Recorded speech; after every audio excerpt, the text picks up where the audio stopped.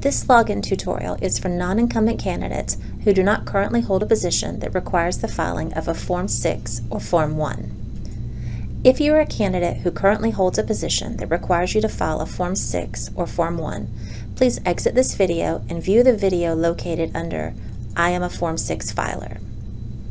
How to log in. To access the system, first click on the I am a candidate button from the login page. Then click Request Registration Email. Enter the email address you would like to use, check the verification box, and submit. Now check your email for your invitation to register. The email will come from ethics fdmsinfo at mail.disclosure.floridaethics.gov. If you do not receive the email, check your spam account. You can minimize the chance of missing emails from the system by adding mail.disclosure.floridaethics.gov to your safe list. If you are still unable to locate the email, contact the Commission for additional assistance.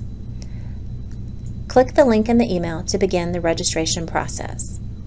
You will be directed to provide candidate registration information, including setting up a username and password.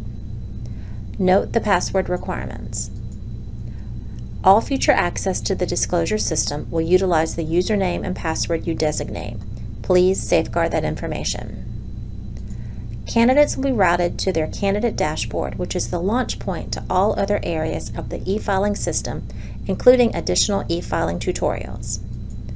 If you have any questions about accessing the system, please give us a call at 850 488 7864.